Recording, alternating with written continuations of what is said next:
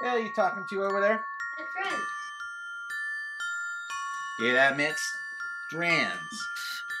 What friends? All I see over here is a bunch of goddamn dolls. What your grandmother says goes. Now sit down.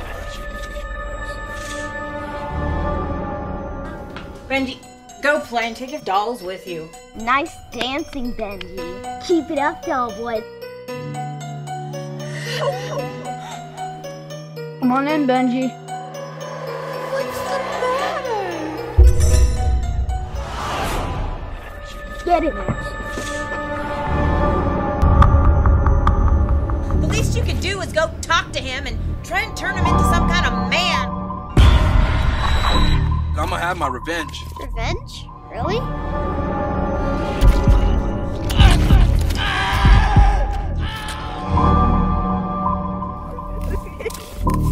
gotta treat others how you wanna be treated.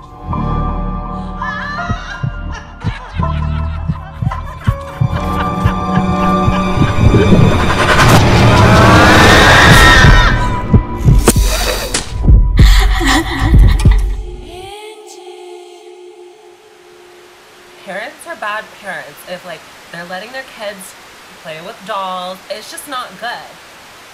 Keep talking that